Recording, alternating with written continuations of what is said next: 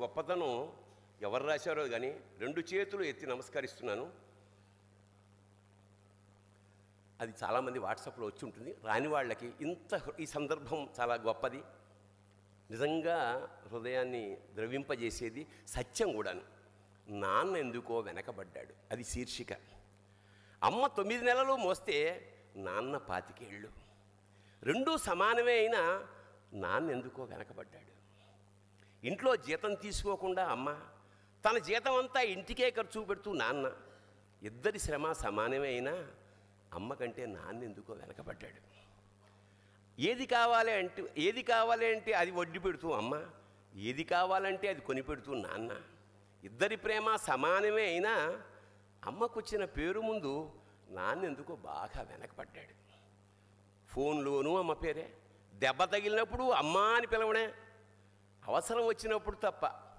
మిగతా అప్పుడు గుర్తు రానందుకు నాన్న ఎప్పుడైనా బాధపడ్డా ఏమో. ఇద్దరూ సమానమే అయినా పిల్లల ప్రేమను పొందడంలో తరతరాలుగా నాన్నెందుకో వెనకబడ్డాడు. అమ్మకి మాకు బీరువా నిండా రంగురంగుల చీరలు బట్టలు. నాన్న బట్టలకు దండెం కూడా నిండదు. తనని తాను పట్టించుకోవడం రాని నాన్న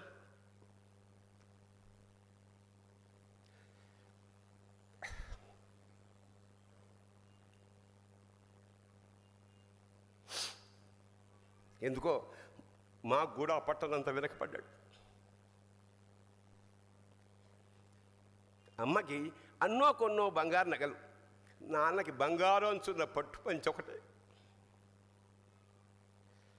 కుటుంబం కోసం ఎంత చేసినా తగిన గుర్తింపు తెచ్చుకోవడంలో నాన్న ఎందుకో పాపం బాగా వెనకబడ్డాడు పిల్లల ఫీజులు ఖర్చులు ఉన్నాయి ఎప్పుడప్పుడు ఈసారి పండక్కి చీర కొనొద్దంది అమ్మ.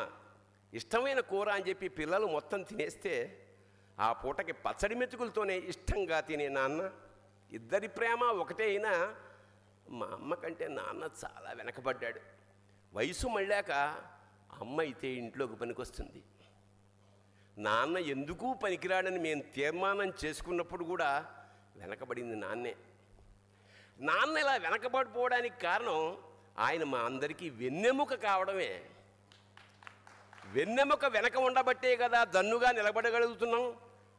ఇదేనేమో నాన్న వెనకబడిపోవడానికి కారణం.